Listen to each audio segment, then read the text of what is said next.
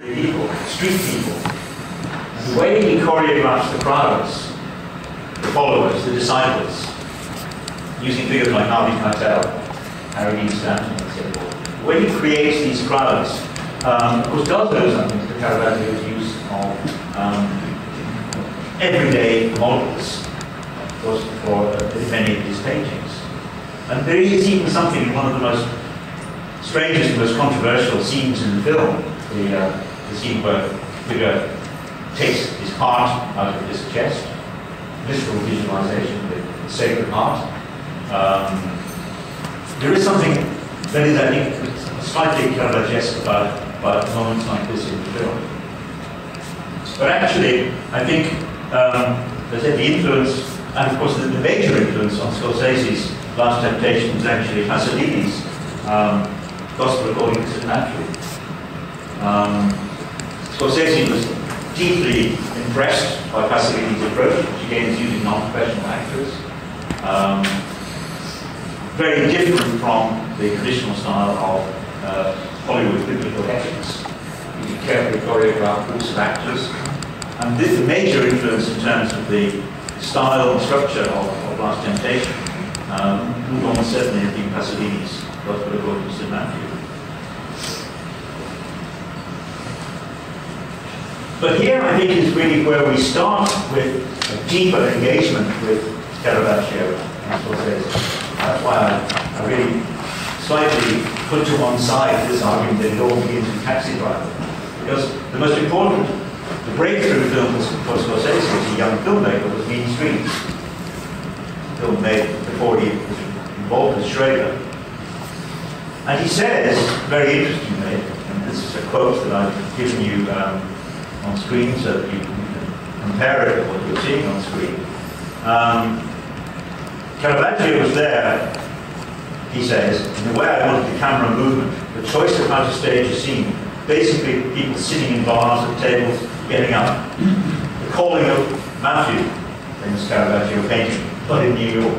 And I think this really gets to the heart of the matter. If you look at Mean Streets, the extraordinary scenes in bars, cameras tilting and moving, the way that people are presenting to camera, that's Scorsese reading Caravaggio in a much more interesting way than simply playing with the chiaroscuro.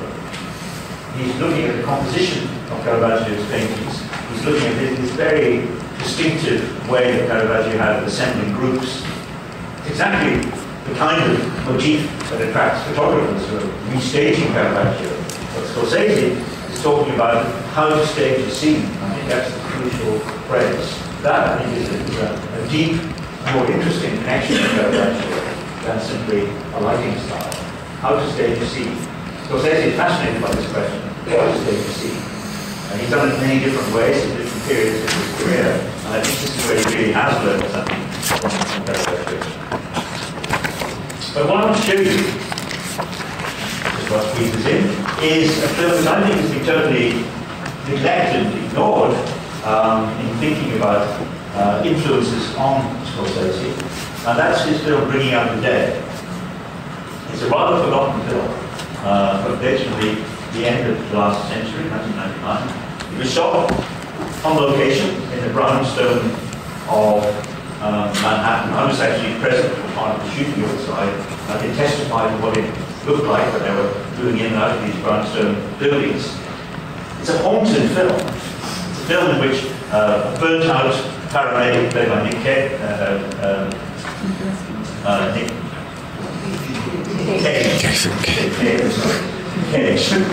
um, is um, haunted by memories of people he has not saved, who rise up like ghosts on the street.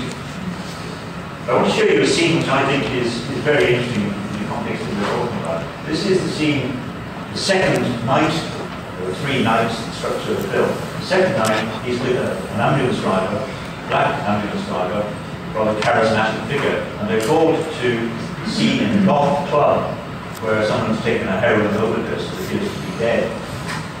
So, I hope we can sound. You got sound. We have to hang on. See scene. That's better.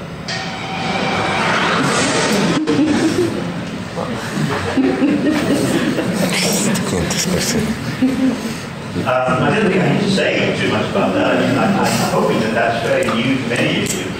My experience, very few people know the film. An extraordinary film. Visually, it's extraordinary. Thematically, it's, it's extraordinary. It's really one of the neglected films of Scorsese. There, I think we are again seeing a level of, if you like, um, instinctive Caravaggio on his part. There's something about the structure of that scene, and has shown in many other scenes in the film as well, which seems to me to be informed by Scorsese's extensive visual referencing his awareness of particularly Caravaggio's paintings. Right there the structure, conception scene. There are other examples that come from the lesser known, more neglected films of Scorsese. I just mentioned here three, which I think, again, would be somewhat neglected. Uh, Cape Fear, Casino, which I think personally is his greatest film, and Kundun. There are um, remarkable things in each of these films, which again show a deeper level of engagement with the methods of Baroque painting. Well, even though the subject matter might seem to be very, very theme. And that brings us finally to the other obvious figure who can not be part of this, Derek Jarman. Um, Jarman, who had started his career as a painter, of course, um, uh, was making um, informal films, short films, uh, artist films, the early part of his career, but he set his sights in the 80s on the idea of making a biography of Caravaggio. Now, for, for Jarman, who was a prominent campaigner for gay rights at a time when homosexuality was essentially illegal in Britain, and there were many, many prohibitions and repressions going on, especially during the Thatcher period in the early 80s, uh, it took courage to stand up and to declare oneself to be gay and of course, it was also the period of the AIDS, the beginnings of the AIDS epidemic. And I was with Derek um, two occasions when I saw his extraordinary courage. Uh, one was in Russia, I took him to Russia in 1984, and he stood up at the Writers' Union in Moscow and said, Shakespeare was gay. and ripple, like what you've just done, uh, but quieter. And um, the interpreter who was interpreting for him said that she thought it was a really interesting moment for the Writers' Union because there were many gay members of the Writers' Union who were keeping very quiet, had been keeping very quiet. It was rather wonderful to hear somebody making this outrageous claim. Um, John had just made his film um, uh, on the Tempest. Oh, of, uh, uh, oh yes, the Tempest at the time. But the Caravaggio project comes out of this um, activism for John to make a film like Caravaggio was, of course, to pay homage to Caravaggio as a painter, but at the same time it was to show a very defiant, uncompromising view of Caravaggio as a bisexual hero. Now, of course, the whole question of Caravaggio's sexuality is ultimately undecidable, but um, and I'm not going to venture into that territory, but for John, it was really it's perfectly natural to pick him up and hold him aloft and say, well, he certainly wasn't a conventional straight artist. The way that the, the film is structured, if you know John's film, is because it plays fast and loose with all sorts of aspects of Caravaggio's known biography. But essentially what it does is construct a triangle around one of Caravaggio's most uh, frequent models, boxer, um, uh, Ranuccio, and a female model played by Tilda Swinton in the first role. And this triangle, Caravaggio, uh, uh, Ranuccio, and the female character, becomes kind of focus of John really exploring sexual rivalry, bisexuality, the vortex of sexual emotion swirling around Caravaggio. It's not trying to be accurate, because how could it be accurate? So it was known then, is still known. What it's trying to do is to evoke a, a climate of sexual danger, it does, I think, very interestingly. Of course, it runs into problems of all artist biopics. Um, John was very well aware of this. I should show you in the beginning of it, you don't know it. Uh, Malta, Syracuse, Messina, Naples. Porto Ercole, July the 18th, 1610. Four years on the run. So many labels on the luggage and hardly a friendly face. Always on the move. Running into the poisonous blue sea. Running into the July sun. Adrift. Salt water drips from my fingers, leaving a trail of tiny tears in the burning sand. The fishermen carry me high on their shoulders. I can hear you sobbing, Jerusalem.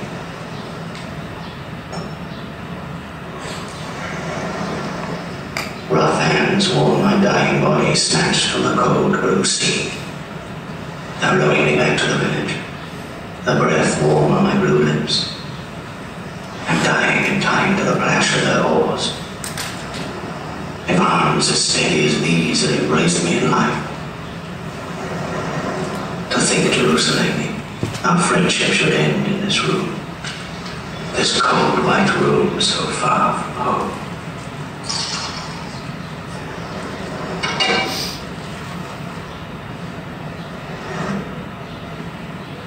Many ways, making a, a biopic was not John's natural idiom, and he never made another film of this type. It was about holding up uh, a banner, in the way that I tried to describe.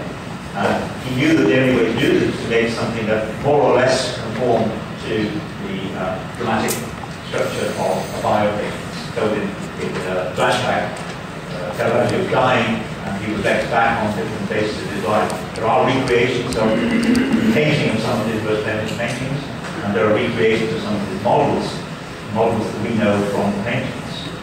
Um, but what I wanted, really wanted to leave you with, thinking about John, is not whether his Caravaggio is a success or not a success. There are many aspects of it which are not successful, I think. Um, but what came before it and what came after it, just as with Scorsese, we can find a deeper Caravaggism, if you like, in, in John's uh, film work. Before it, for instance, comes, just before it comes a film he made partly when he was with me in Russia, called Imagining October, which is a film partly shot in Russia, on Super 8, but the whole second half of the film is set in an artist's studio. And it's very it's a wonderful piece of work, made on 16 millimeter, very quickly, very cheaply. It really has the essence of what he's trying to show in Caravaggio in microcosm.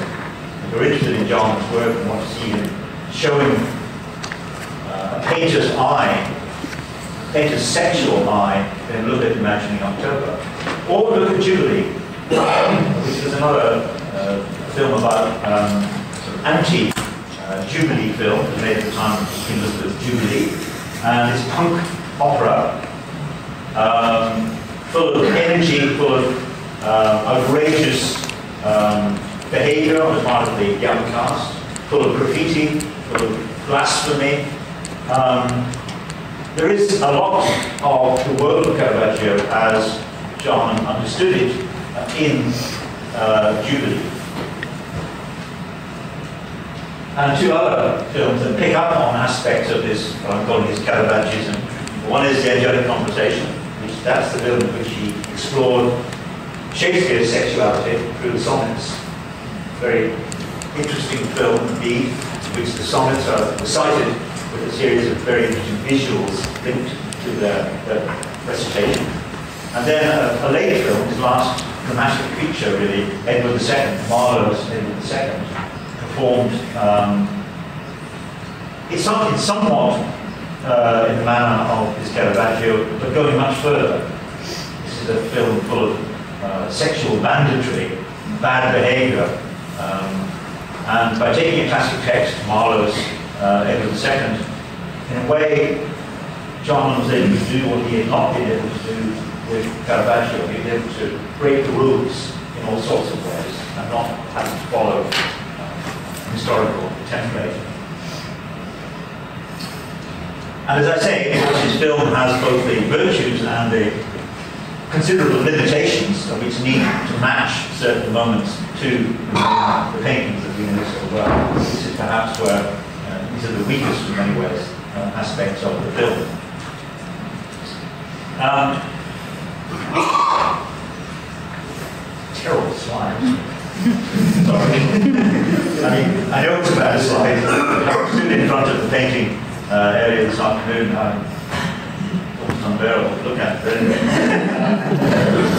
know that art history always used to be taught in black and white slides. It's uh, an article of faith in art history that no colour slides would be mostly adequate. So let's just have black and white. I was always taught until modern times. And there's some point to that. But I just want to pose the question finally. Um, if we stand, as you're able to do, and I have done on a number of occasions, in that uh, chamber in, in the cathedral, and if you look at the two great um, that you have here uh, in the oratorio, um, do they have anything to say to us, to us who are more than a century into the era of cinema? Is there anything that we bring to the, the paintings from our experience of cinema? Do they uh, feed into the development of cinema? If I had longer, I could explore that in more detail. Let me just show you two slides. Um, initially, these are from two Russian filmmakers. This is Eisenstein's bad slide too, but anyway, from Eisenstein's terrible. Uh, the second part of, of his great uh, epic of the life of the first Russian Tsar. And of course, Eisenstein, deeply versed in the history of art, with uh, an almost encyclopedic knowledge of the history of art, such as one could have up to that time he made it in, 19, in the early 1940s, uses many different references that come from a whole range of art historical sources. He plays with shadows massively in recreating this world this uh, early Renaissance world of the Russian court. But what I'm really interested in is the question of space. Eisenstein creates new and interesting spaces in his film. And it seems to me that this is an aspect that we have to think about. If we want to be serious about Caravaggio, we should be thinking about the kind of space, different kinds of space that Caravaggio created in his paintings. Different kinds of space. And we find that filmmakers are working with illusionistic space also, not just through lighting, but through set construction, through camera angle, uh, moving us around in space. I will show you here a, a, rather better slide from a film that you may not know by Alexander Sokurov, who I think is the greatest Russian filmmaker of work today. This is from a film he made in the 1990s called um, Whispering Pages. It's a kind of version of Crime and Punishment sort of skeletal version of Crime and Punishment. It is some of the most extraordinary spatial structures. And Sokurov does make me think sometimes about Caravaggio's spatial constructions. There's another image, again very hard to read, in a film called Stone, which is about uh, Chekhov, Chekhov Museum in Russia. So there are filmmakers, I think, who are doing interesting things spatially. Um, which can connect us. But I called this talk um, Cheating in Caravaggio. I really should end it by talking about quoting Caravaggio. Some of you may know this uh, quite provocative book by a great Dutch art historian, uh, Bal. And her argument in it, in a very small nutshell, is that many contemporary artists have made almost a fetish in quoting Caravaggio. Not directly quoted, but alluding to Caravaggio in very modern work. What's going on when they do this? What she says is that, of course, there's an interaction between our present and the past. Our present changes the past. The past is not settled, fixed, changed by our relationship to it. The whole book is an exploration of the zigzags of the way that we alter the past through what we see in our present. So I would apply that back and say, as she does in the book, that of course we can't look at Caravaggio without, the, without our century of cinema experience. It makes us look at things differently. We look at different things in them, we see different things in them, we think cinematically, whether we know it or not, even when we're looking at art big 500 years ago. And that, I think, is, is an important lesson to take away as well. It's not just a question of looking for films that look like Caravaggio, be that. Uh, it's a question of getting into a, a deeper kind of dialogue. Meanwhile, the story continues. Goodness knows what will be in. Thank you.